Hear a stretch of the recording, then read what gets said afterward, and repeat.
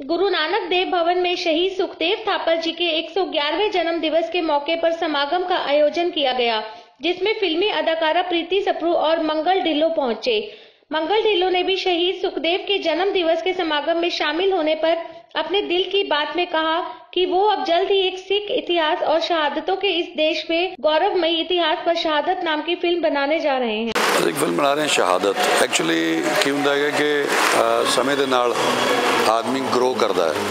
ਤੁਸੀਂ ਕਿਸੇ ਆਦਮੀ ਨੂੰ ਬੜੀ ਦੇਰ ਬਾਅਦ ਮਿਲੋ ਤਾਂ ਉਹ ਜਿਹੜੀ ਗੱਲਬਾਤ ਕਰੋ ਤਾਂ ਪਤਾ ਲੱਗੂਗਾ ਕਿ ਉਹ ਗਰੋ ਕੀਤਾ, ਉੱਥੇ ਹੀ ਖੜਾ ਜਾਂ ਥੱਲੇ ਨੂੰ ਚਲਾ ਗਿਆ। ਸੋ ਮੇਰੀ ਜਰਨੀ ਸਪਿਰਚੁਅਲਿਜ਼ਮ ਵੱਲ ਚਲੀ ਗਈ, ਅਧਿਆਤਮ ਵੱਲ, ਕਿ ਜੀਵਨ ਦਾ ਮਕਸਦ ਕੀ ਹੈ, ਅਸੀਂ ਆਏ ਕਿਉਂ ਹਾਂ ਕਿੱਥੋਂ ਆਏ, ਜਾਣਾ ਕਿੱਥੇ ਹੈ।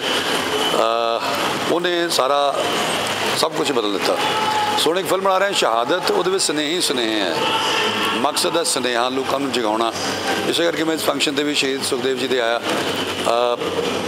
ਲੋਕਾਂ ਦੀ ਆਤਮਾ ਮਰਦੀ ਜਾ ਰਹੀ ਹੈ, ਤਰੱਕੀ ਦੇ ਨਾਂ ਤੇ ਅਸੀਂ ਬਰਬਾਦੀ ਵੱਲ ਜਾ ਰਹੇ ਹਾਂ। ਸੋ ਜੇ ਇਸ ਤਰ੍ਹਾਂ ਦੇ ਸਨੇਹ ਲੋਕਾਂ ਨੂੰ ਦਿੱਤੇ ਜਾਣ, ਕਿਉਂਕਿ ਸਿਨੇਮਾ, ਹੁਣ ਤੁਸੀਂ ਵੇਖੋ ਸੈਟਲਾਈਟ ਦਾ ਇਨਵੇਜਨ ਹੋਇਆ ਤੇ ਸਾਡੀਆਂ ਨਵੀਆਂ ਜਨਰੇਸ਼ਨ ਦਾ ਹਾਲ ਕੀ ਹੋ ਰਿਹਾ ਹੈਗਾ। ਅਸੀਂ ਵੈਸਟ ਦਾ ਸਾਰਾ ਕੂੜਾ, ਕਚਰਾ ਚੱਕੀ ਜਾ ਰਹੇ ਉਹਨਾਂ ਕੋਲੋਂ।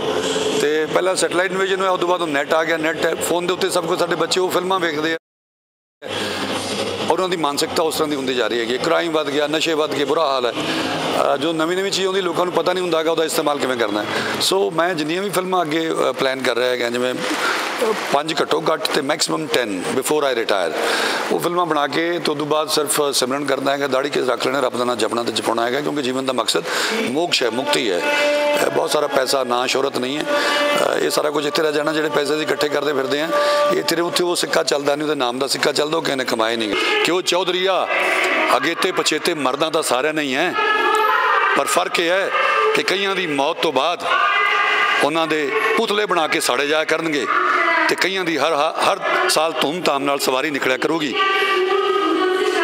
ਕਈਆਂ ਦੇ ਸਥਾਨਾਂ ਤੇ ਮੇਲੇ ਲੱਗਿਆ ਕਰਨਗੇ ਤੇ ਕਈਆਂ ਦੀਆਂ ਕਬਰਾਂ ਤੇ ਜੁੱਤੀਆਂ ਮਾਰੀਆਂ ਜਾਇਆ ਕਰਨਗੀਆਂ।